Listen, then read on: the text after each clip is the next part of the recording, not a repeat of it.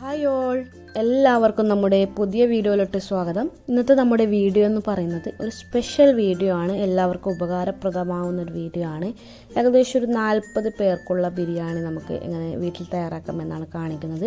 വീട്ടിൽ ചെറിയ ഫംഗ്ഷനൊക്കെ വരുമ്പോൾ നമുക്ക് തന്നെ തയ്യാറാക്കി എടുക്കാൻ പറ്റുന്നതേ ഉള്ളൂ. ഇതിന്റെ ഡീറ്റെയിൽഡ് ആയിട്ട് കാണിക്കുന്നുണ്ട്. വീഡിയോ മൊത്തത്തിൽ കണ്ടിട്ട് ഇഷ്ടമാണെന്നുണ്ടെങ്കിൽ ഒന്ന് ലൈക്ക് ചെയ്യാനും ഷെയർ ചെയ്യാനും മറക്കരുത്. അതുപോലെ തന്നെ ചാനൽ സബ്സ്ക്രൈബ് ചെയ്തിട്ടില്ലാത്തവർ ഒന്ന് സബ്സ്ക്രൈബ് ചെയ്യാനും മറക്കരുത്.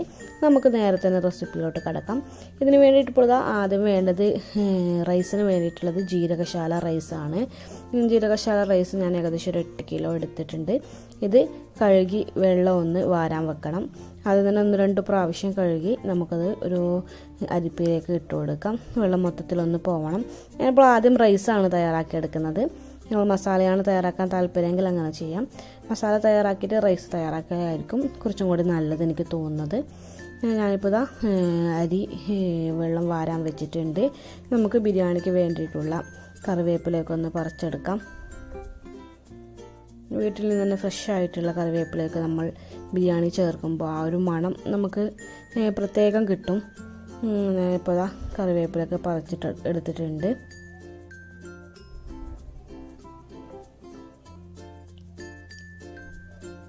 ഈ റെസിപ്പി എന്ന് പറയുന്നത് നമ്മുടെ മലബാർ ഭാഗത്തുള്ള ഒരു ബിരിയാണി റെസിപ്പിയാണ് അതുപോലെ തന്നെ ഞാൻ വളരെ സിമ്പിളായിട്ടുള്ള ഒരു മെത്തേഡിൽ കൂടിയാണ് വീഡിയോ ചെയ്യുന്നതും മസാലയായാലും എന്ത് തയ്യാറാക്കുന്നതും സിമ്പിളായിട്ടുള്ള മെത്തേഡാണ്. അതുകൊണ്ട് ആർക്കും ഫോളോ ചെയ്യാൻ പറ്റുന്നേ ഉള്ളൂ. ഒരുപാട് പണിയൊന്നുമില്ല. നിങ്ങൾക്ക് വീട് മൊത്തത്തിൽ കണ്ടാൽ തന്നെ മനസ്സിലാവുന്നതാണ് സിമ്പിളായിട്ടുള്ള മെത്തേഡിലാണ് ചെയ്യുന്നതെന്ന്. നമുക്കിത് ആ റൈസ് തയ്യാറാക്കാൻ തുടങ്ങാം.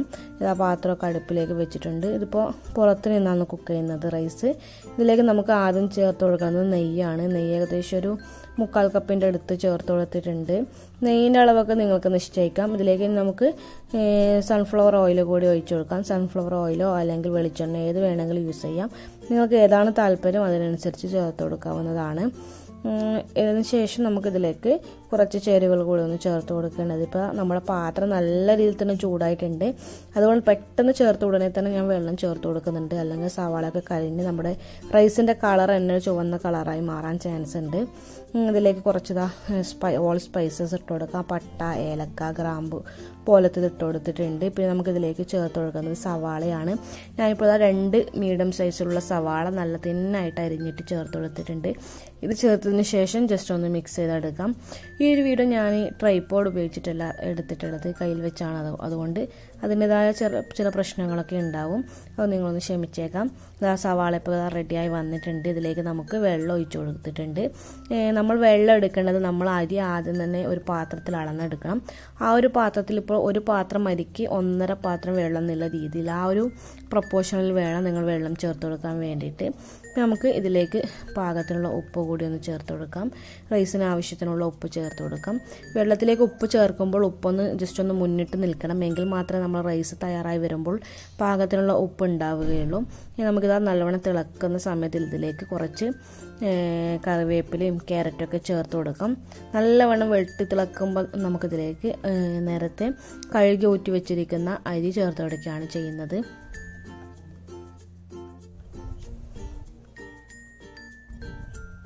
ഇതിപ്പോൾ വെള്ളമൊക്കെ നല്ല രീതിയിൽ തിളച്ച് വന്നിട്ടുണ്ട്. ഇതിലേക്ക് നമുക്ക് ഈ സമയത്ത് ഒരു രണ്ട് ടേബിൾ സ്പൂൺ ലെമൺ ജ്യൂസ് ഒഴിച്ചു കൊടുത്തിട്ടുണ്ട്. അരി ഒന്ന് പരസ്പരം ഒട്ടിക്കിട്ടാതിക്കാൻ വേണ്ടിയിട്ടാണ് ഞാൻ ചെയ്യുന്നത്. നമുക്കിതിലേക്ക് നമ്മുടെ റൈസ് ചേർത്ത് കൊടുക്കാം.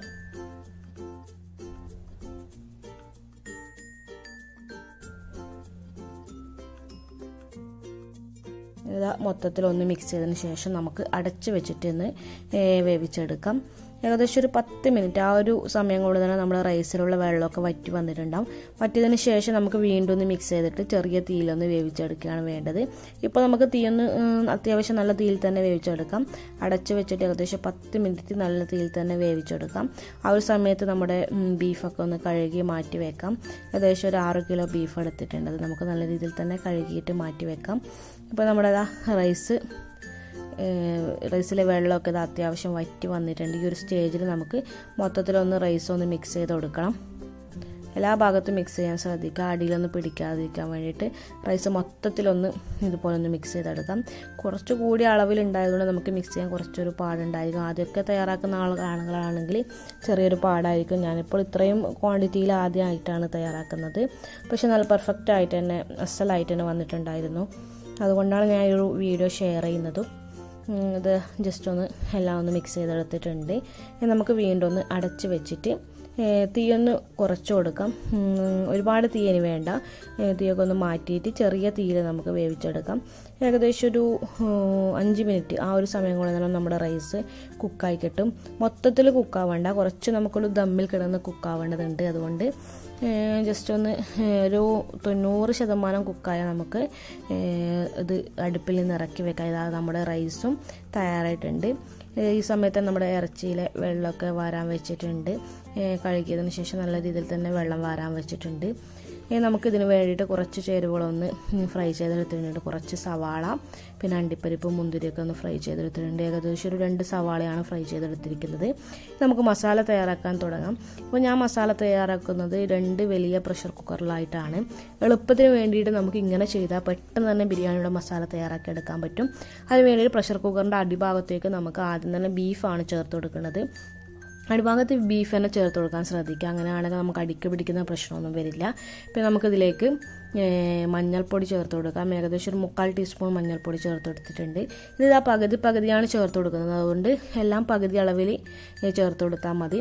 പിന്നെ ആവശ്യത്തിന് കുരുമുളക് പൊടി ചേർത്ത് കൊടുക്കാം. ഇതിന്റെ അളവൊക്കെ നിങ്ങൾക്ക് നിശ്ചയിക്കാം. എത്രത്തോളം എരിവ് വേണം അതിനനുസരിച്ച് ചേർത്ത് കൊടുക്കാം. പിന്നെ പാകത്തിനുള്ള ഉപ്പ് ചേർത്ത് കൊടുക്കാം. പിന്നെ ഇതിലേക്ക് വേണ്ടിയിട്ട് ആ പച്ചമുളക് ഇഞ്ചി വെളുത്തുള്ളി സവാള എല്ലാം റെഡിയാക്കി വെച്ചിട്ടുണ്ട്.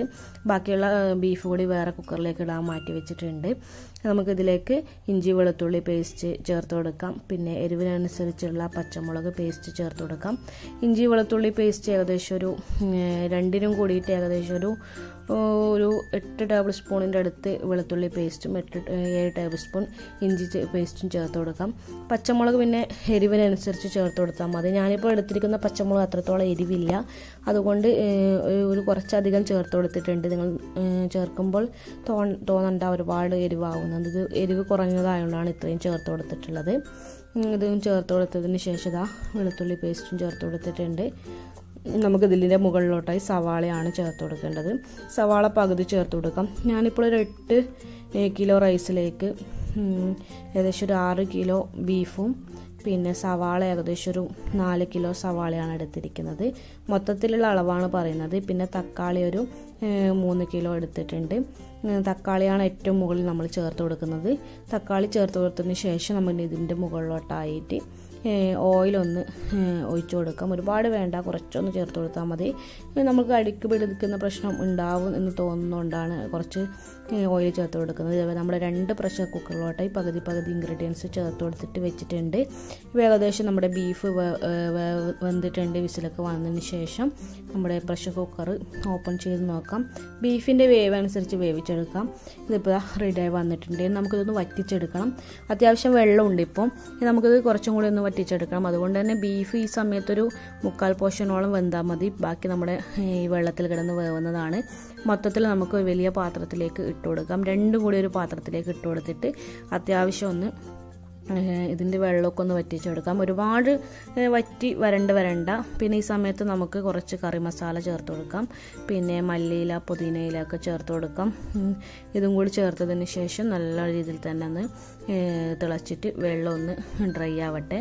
ഈ സമയത്ത് നമ്മുടെ റൈസിൽ നിന്ന് പകുതി റൈസ് ഒന്ന് മാറ്റിയെടുക്കണം. നമുക്ക് ആ ഒരു സ്ഥാനത്തേക്ക് മസാല ഫിൽ ചെയ്ത് കൊടുക്കാൻ വേണ്ടിയിട്ടാണ്. ആ മസാലയിലേക്ക് നമുക്ക് തൈര് ചേർത്ത് കൊടുത്തിട്ടുണ്ട്. ഏകദേശം ഒരു ഒരു മുക്കാൽ കപ്പിന്റെ അടുത്ത് തൈര് ചേർത്ത് കൊടുക്കാം. ഒരുപാട് ചേർക്കേണ്ട. മുക്കാൽ കപ്പന്നെ മതിയാവുന്നതാണ്. ഇതിന് ശേഷം നമുക്ക് ഏകദേശം വറ്റി വന്നിട്ടുള്ള മസാല നമ്മുടെ റൈസിന്റെ മുകളിലേക്ക് ഇട്ട് കൊടുക്കാം. അല്പമൊക്കെ വെള്ളം ഉണ്ടെങ്കിലും പ്രശ്നമൊന്നുമില്ല. ആ ഒരു ദമ്മിൽ കിടന്ന് മൊത്തത്തിലൊന്ന് സെറ്റായി വരും. മസാല മൊത്തത്തിൽ ചേർത്ത് കൊടുത്തതിന് ശേഷം മുകളിലേക്ക് നമുക്ക് റൈസ് ഇട്ട് കൊടുക്കുകയാണ് ചെയ്യുന്നത്.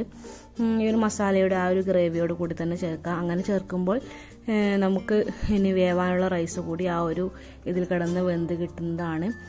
മൊത്തത്തിൽ ചേർത്തതിന് ശേഷം റൈസ് ഇതിന്റെ മുകളിലേക്ക് ഇട്ട് കൊടുത്തിട്ടുണ്ട്. പിന്നെ നമ്മൾ നേരത്തെ ഫ്രൈ ചെയ്ത് വെച്ചിരിക്കുന്ന സവാള അണ്ടിപ്പരിപ്പ് മുന്തിരിയൊക്കെ ഇട്ട് കൊടുക്കാം.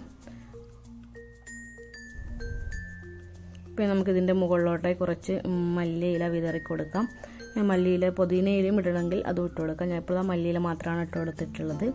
അത് ഇട്ട് കൊടുക്കാം.